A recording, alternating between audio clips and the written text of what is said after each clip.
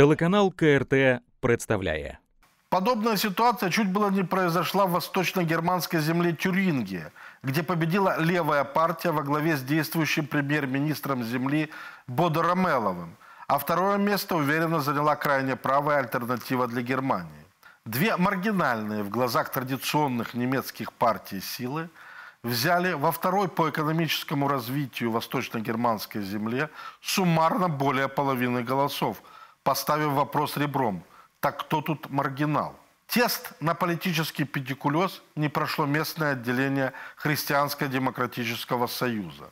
Сначала фракция ХДС в Тюринском Лантаге, действуя по принципу «кто угодно, лишь бы не коммуняки», поддержала лидера самой маленькой фракции, свободного демократа Томаса Кеммериха, который на сутки стал премьером. Однако победа Кемериха была достигнута благодаря голосам не только ХДС, но и альтернативы для Германии, что вызвало тяжелый приступ антифашизма у Ангелы Меркель – закончившийся отставкой не только Кемериха с должности премьер-министра в Тюрингии, но и Аннегрет Крамп-Каренбауэр с поста главы Христианско-демократического союза. Во втором цикле выборов главы исполнительной власти Тюрингии фракция ХДС в Лантаге действовала по принципу «кто угодно, лишь бы не фашисты». В результате Бода Ромелов повторно стал премьером в третьем туре выборов – благодаря воздержавшимся депутатам от ХДС, ему хватило относительного большинства голосов, а левые социал-демократы и зеленые создали в Тюрингии правительство меньшинства. Ангела Меркель попыталась было изобразить приступ антикоммунизма, но у бывшего комсомольского вожака это получилось как-то веловато и неискренне. Ну, а более подробно о политической ситуации в Германии мы поговорим с медиаэкспертом Владимиром Лариным. Добрый вечер, Владимир. Добрый вечер. Ну, кроме выборов в Тюрингии, которые вроде получили свое завершение в виде правительства, недавно прошли еще одни знаковые выборы в административной единице в свободном городе Гамбурге. При этом э, в портовом городе, связанного с торговлей и с миграцией, не прошли главные либералы – это свободно-демократическая партия или свободные демократы. И с трудом преодолел э, барьер альтернатива для Германии. Казалось бы, эти партии должны выступать успешнее. Почему вот в портовом городе альтернатива для Германии еле-еле прошла в Лантак? Если посмотреть в целом, то э, в Гамбурге было на 7% в этом году больше явка по сравнению с 2015 годом и, соответственно, более молодой возраст избирателей. И если открыто говорят э, даже социал-демократы о том, что их избиратель уходит к зеленым, то вполне может быть, что и избиратели АДГ тоже посмотрели в сторону зеленых. А, да, город, э, город портовый, город капиталистический, но в целом ситуация по Германии далеко не всегда отображает, э, казалось бы, логичный порядок хотя для меня это тоже большое удивление. И, наверное, многое вызвано все-таки теми скандалами, которые связаны с АДГ. Переходя к теме ХДС, это крупнейшая партия, особенно если мы говорим про блок ХДС, ХСС.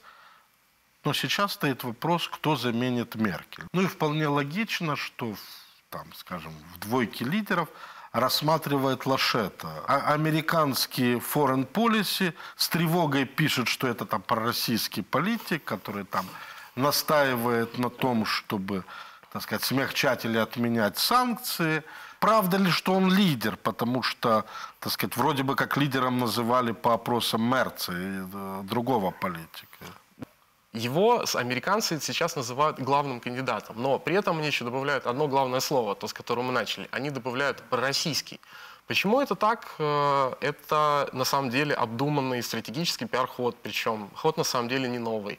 И уже очень долгое время, когда нужно кому-то утопить своего оппонента, заказываются да, в прессе специальные материалы, именуемые джинса, и в данном случае мы имеем как раз, э, на мой взгляд, вот эту самую джинсу. Потому что между срок в этих заголовках можно прочитать, что э, «Спасай Германию», против э, российского агрессора голосуй за Мерца. Поэтому я думаю, если бы на самом деле все копнули это, то след бы от всех этих публикаций ушел бы куда-нибудь как раз к, покровителям Мерца. И хорошо, последний вопрос. А В годовом отчете компания Юнипер, партнер Газпрома, э, запланировала, ну, планирует окончание Северного потока-2. Вообще в целом, что германские СМИ, германские аналитики говорят о перспективах СП-2? Если посчитать 55, э, 55 миллионов кубометров, которые будут поставляться, собственно, по Северному потоку, из них только около пяти пойдет на внутренние нужды Германии. Все остальное уходит на экспорт. Э, То есть Германия постепенно превратится из э, потребителя в транзитера, э, в транзитера и поставщика. А Почему, почему это выгодно? Потому что это выг- выгодно тем, что позиция Германии в Евросоюзе в целом будет более прочной. И если до этого как-то использовали энергетическое давление на Германию, то в принципе от этого э, это исключит такую возможность. Э, Еще было интересное заявление тем, что э, Северный поток может дать около там, в два раза меньше вообще того газа, который необходим. В связи с этим в одном из да, портовых городов собирались строить специальный терминал. Но заявление интересно в целом тем, что есть, цел, э, есть в целом курс на э, снижение потребления и на повышение энергоэффективности. А, поэтому чуть-чуть непонятно. Так или иначе, ге- для Германии и для Евросоюза единственным поставщиком а, является «Газпром». Поэтому хочешь не хочешь, а покупать придется у «Газпрома». А, По энергетическим положению в Европе, во-первых, э, идет отказ от, э, ядер, от ядерной Атомной. энергетики, от атомной энергетики. Там, после Фукусимы там пролоббировали э, в Германии целый, закон, целый проект.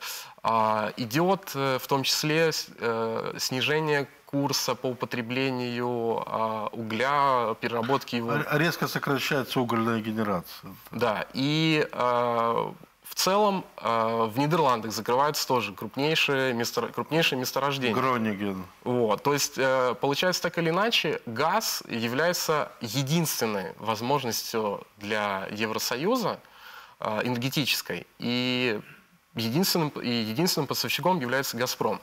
Ну, я благодарю вас за беседу германских политических и, можно сказать, таких так, энергетических э, новостях. А у нас в гостях был медиаэксперт Владимир Ларин. Благодарю вас. Спасибо.